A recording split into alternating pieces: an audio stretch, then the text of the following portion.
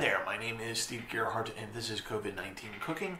This is the cooking show on YouTube for those of you who want to make different things so you don't go insane by the lack of choices that COVID 19 is providing you.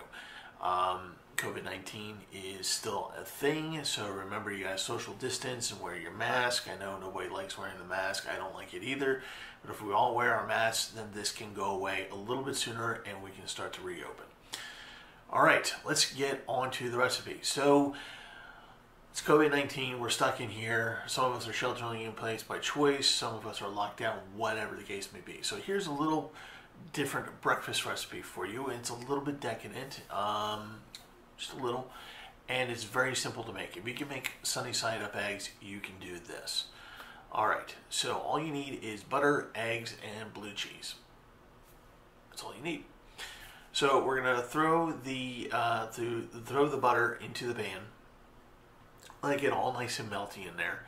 And then of course we're gonna put our eggs in there. We're gonna do it sunny side up. We're not gonna do scrambled. And uh, as as the whites on the eggs as they're cooking in the pan start to solidify a little bit, that's when you grab the blue cheese and you put in. If you're putting in two or three eggs, use the palm of your hand as kind of a measuring tool put some blue cheese in there, and then kind of sprinkle it around over top of the pan. You can do a little bit more, you can do a little bit less, your taste, but still put it in there because it's going to give a nice, rich uh, texture and taste to the eggs as well, and, and they pair very, very well. So you're just going to wait till the eggs are normally cooked. The blue cheese gonna, is going to melt down a little bit, and that's fine. It shouldn't be runny. Uh, the cheese shouldn't be runny. And then once you're done, you can just take the eggs and put them to your plate. Or maybe you can get a piece of toast, put the toast on a plate, put the eggs on top of that. Some people like to do that. Um, and like I said, this is just a nice, rich little breakfast dish that is so easy to do. If you can make eggs, you can make this.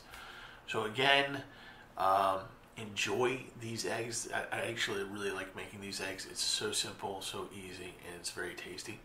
So we're going to watch the video in making them real quick. I know I've done it on another channel before, but this is the first time I've actually really described it, I think. Um, so again, COVID-19 is a thing out there. Do what you need to do to stay healthy. Wear the mask, social distance, yada, yada, yada. You know the drill. And um, enjoy the eggs, and uh, see you next time.